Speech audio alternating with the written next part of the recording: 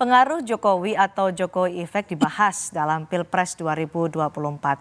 Lalu sejauh mana paslon merasakan kotel effect dari Jokowi? Kita akan bahas bersama narasumber yang sudah hadir di studio Kompas TV hari ini. Ada Bang Mustafa Nahra Wardaya, jubir Timnas Anies Mohaimin. Ada Mbak Putri Komarudin dari jubir TKN Prabowo Gibran dan juga ada pakarannya Dharma Saputra, Deputi Kanal Media TPN Ganjar Mahfud. Selamat malam, terima kasih sudah bergabung bersama kami. Selamat malam. Di Assalamualaikum. TV. Waalaikumsalam warahmatullahi wabarakatuh. Kita bahas soal uh, Jokowi Effect di Pilpres 2024. Mbak Putri Anda meyak, uh, meyakini bahwa memang betul ini karena efek Jokowi sehingga akhirnya uh, Prabowo Gibran bisa unggul dalam hasil quick count atau hitung cepat di ya. Pilpres kali ini. Ya. Uh, tentu kalau dukungan uh, apa dari Pak Jokowi itu bisa terlihat karena ya anaknya ada di paslon oh. 02 gitu, Mas hmm? Gibran di situ. Uh, walaupun memang uh, beliau berkomitmen untuk tidak berkampanye dan seperti yang dilihat sampai akhir masa kampanye itu beliau tidak pernah hmm. uh, ikutan berkampanye untuk paslon 02. Tapi yang kita lihat misalnya uh, pada saat masa kampanye kemarin, partai-partai politik pengusung uh, Pak Prabowo dan Mas Gibran ini kan secara aktif juga mengkampanyekan. Jadi Jokowi efeknya itu akhirnya terefleksikan dalam hasil uh, uh, pemilu dari parpol pengusung uh, paslon 02 yang mana juga partai saya Partai Golkar uh, yang dari awal Pak Jokowi memerintah itu secara konsisten mendukung agenda pembangunannya sampai dengan hari ini uh, dan uh, karena juga Pak Erlangga Hartarto selaku ketua umum kita tentunya adalah Menko Perekonomian yang selama ini juga membersamai Pak Jokowi okay. untuk program-program uh, strategis nasionalnya uh, dan alhamdulillah itu terlihat dari hasil uh, apa Pilpres dan juga Pileg uh, yang sekarang masih dalam versi quick count itu. Jadi keunggulan di quick count ini Anda mengakui bahwa ini adalah Jokowi effect ya. dan juga mengusung keberlanjutan program-program Jokowi. Semua karena Jokowi. Ya uh, karena kan memang tema yang dari awal Paslon 02 usung itu keberlanjutan dengan percepatan dan penyempurnaan karena kita sangat menyadari bahwa apa yang telah dibangun oleh Pak Jokowi itu adalah sebuah fondasi yang sangat baik okay. tapi tentu harus kita evaluasi di mana kekurangannya sehingga nanti bisa kita sempurnakan di masa pemerintahannya Pak Prabowo dan juga Mas Gibran. Baik, Baik maka dari hasil uh, sementara untuk hitung cepat Pilpres 2024 Ganjar ada di uh, sekitar 15-16 persen ya dari sejumlah hitung cepat. Apakah ini karena Ganjar kemudian ketika dalam tanda kutip ditinggalkan oleh Joko Widodo dalam pilpres ini kemudian ber, mengambil sikap yang uh, abu-abu ya, tidak secara uh, secara jelas seperti yang diambil oleh Amin sebagai antitesa Jokowi, tapi juga tidak meninggalkan Jokowi. Ini akhirnya berbuah pada hasil yang sekitar 15 sampai 16 persen itu. Ya, sebetulnya kalau boleh lebih pakai bahasa yang terang, saya kira Jokowi effect itu dalam bahasa terangnya adalah Jokowi intervention atau hmm. cawe-cawe Jokowi kan gitu. Hmm. Dan itu saya kira uh, sudah disampaikan secara terang benerang oleh Mas Andi Wijayanto, di mana Mas Andi Wijayanto mendengar ini langsung dari Pak Presiden Jokowi sendiri, okay. bahwa Pak uh, Presiden Jokowi uh, rupanya memiliki pemerintah dan instruksi bahkan target politik, tiga target politik kan di pilpres ini, hmm. satu uh, memenangkan Prabowo Gibran dua uh, eh, PSI harus masuk hmm. uh, parlemen, tiga suara PDP harus turun. Kan itu diungkapkan okay. oleh Mas Andi Wijayanto langsung Mas Andi dengar dari uh, Presiden Jokowi sendiri. Hmm. Jadi itu uh, pengertiannya saya kira uh, Jokowi effect dari apa yang kami lihat dari fakta-fakta yang terjadi di lapangan adalah seperti itu. Kemudian kedua, apa yang dimaksud dengan Jokowi effect kalau kita kaitkan dengan uh, hasil quick count, itu memang saya, kita melihat bagaimana presiden secara aktif ya. Mm-hmm. Jadi kalau kita teman-teman media sudah memberitakan dan kalau kita perjelas timeline itu kelihatan sekali bahwa ada yang bilang presiden ngintili uh, kampanyenya Mas Ganjar. Ganjar ya kan Mas Ganjar ke sini presiden datang atau bahkan Mas Ganjar mau ke situ presiden sudah datang gitu kan. Nah itu itu saya kira uh, timelinenya berserakan di mana-mana di media dan itu itu kelihatan hmm. sekali. Lalu ketiga, uh, saya kira juga sulit sekali dibantah adanya terjadi pengerahan dan mobilisasi aparat, infrastruktur dan anggaran negara uh, apa yang yang kita lihat dengan sangat kasat mata okay. sampai di level terbawah ya kan kepala-kepala desa itu kan ini bukan bukan kata saya, tapi okay. media memberitakan bahwa banyak sekali kepala-kepala desa dipanggil, ya kan, uh, apa dipersoalkan uh, dan kemudian dari laporan-laporan yang kami terima ternyata ini juga berkaitan dengan strategi politik gitu. Hmm, itu betul Mbak Putri dengan apa disampaikan oleh Pak Kar bahwa ada politisasi anggaran, kemudian mengintili tadi ke mana Ganjar pergi ke Jawa Tengah, besoknya ada uh, Presiden Jokowi di sana, itu menjadi salah satu faktor. Ya. Bisa.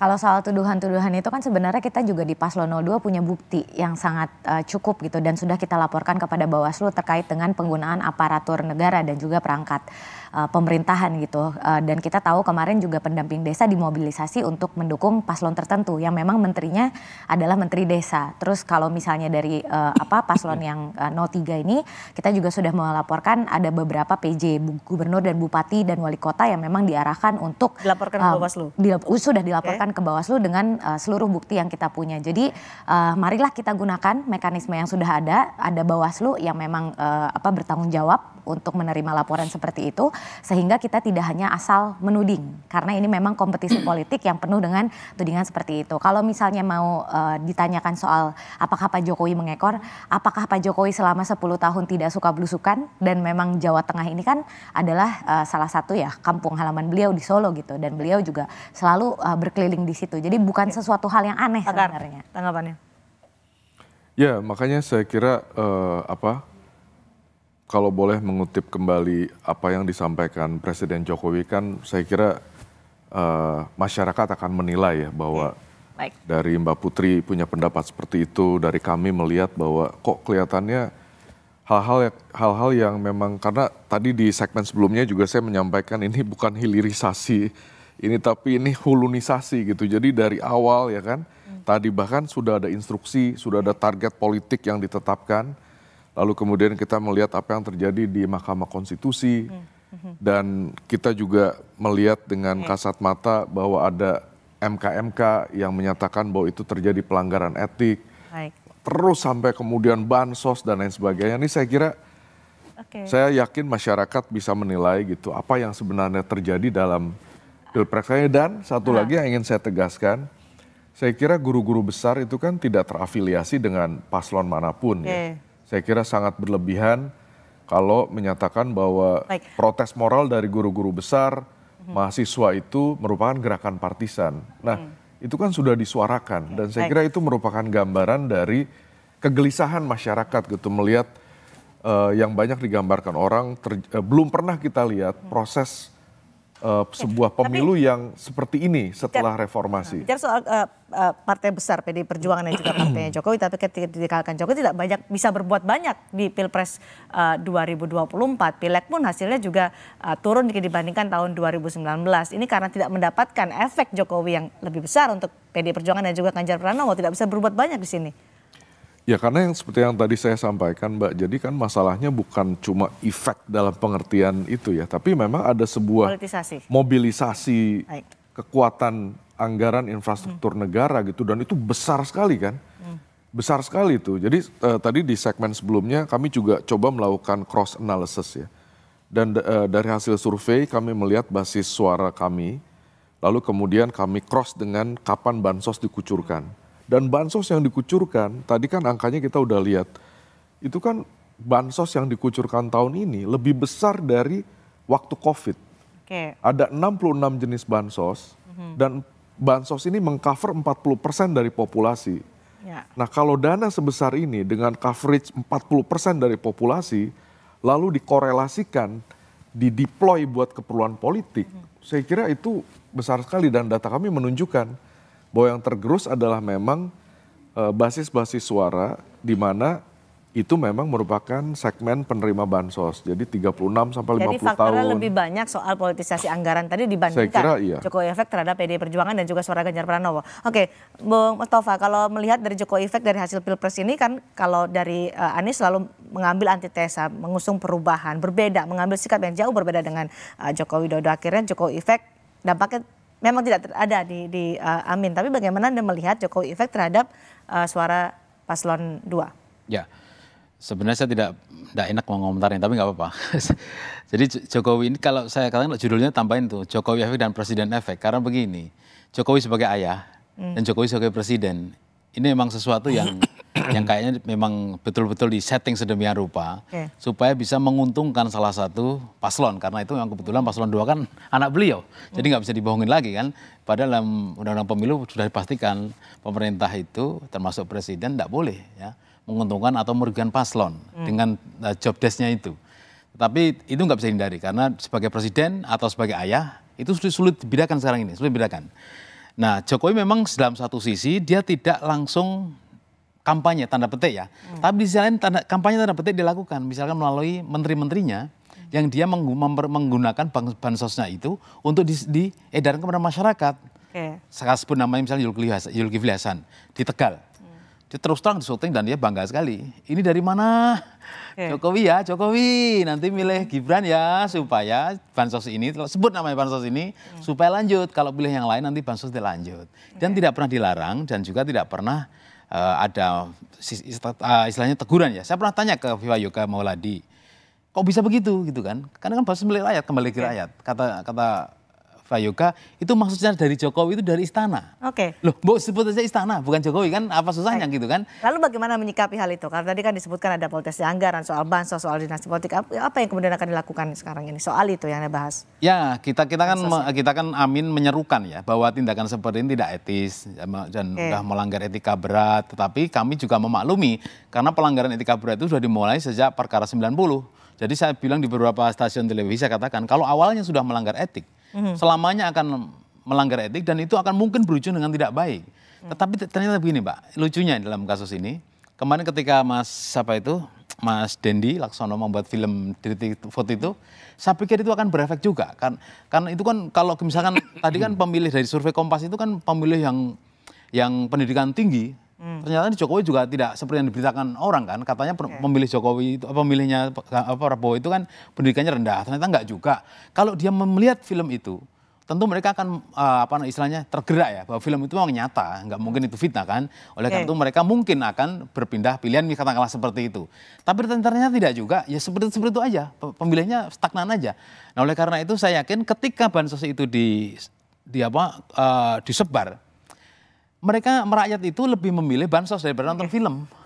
Jadi mereka lapar yang betul. Orang-orang saya tidak menyebut miskin ya.